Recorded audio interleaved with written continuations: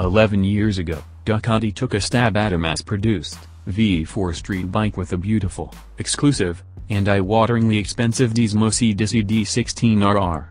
If the 70-some thousand dollar asking price didn't break you, its maintenance costs certainly would. After all, Ducati didn't expect folks to ride it as much as they did. Today an all-new MotoGP-derived, 1103cc V4 replaces the Bologna brand's classic L-twin superbike with the 2018 Panigale V4.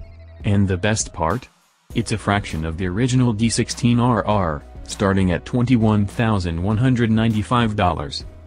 Like always, Ducati bragged about the performance of its latest masterpiece. Following a sunshine-filled day wearing down knee pucks at the Circuit Ricardo Tormo in Valencia, Spain, we are pleased to say that the Panigale V4S not only walks the walk, but it changes the perception of what a modern superbike can and should be. Eager to capitalize on its MotoGP research and development efforts, the four-cylinder Panigale is propelled by a 90-degree water-cooled no dubbed the Desmosedici Stradale.